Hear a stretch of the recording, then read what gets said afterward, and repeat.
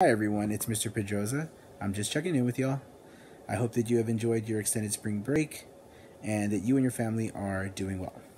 I also want each and every one of you to know that I do miss you dearly and I can't wait to see you soon.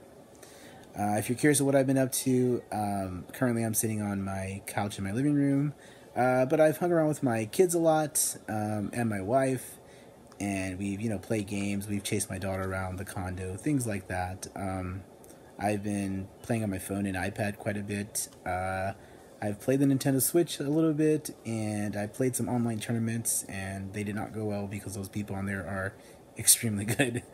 Um, other than that, um, I've been busy working in Algebra 2 and College Algebra with Mr. Cohn and Mr. DeMario and Miss Bennett, and we put a, together a lot of good things to get started for the online distance learning starting tomorrow.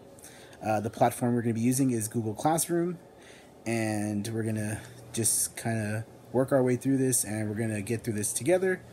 Uh, we've got a lot of good resources. We've come up with a lot of good things, and I know they're going to be very beneficial to your education as we continue through this rest of the year.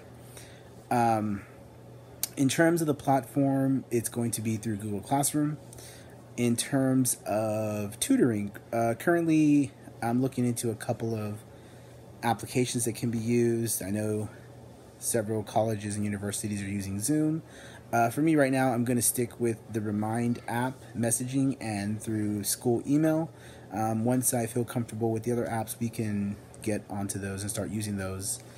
Um, other than that, if you you should have access to Google Classroom. If you need any help with that, just feel free to email me and I can walk you through that.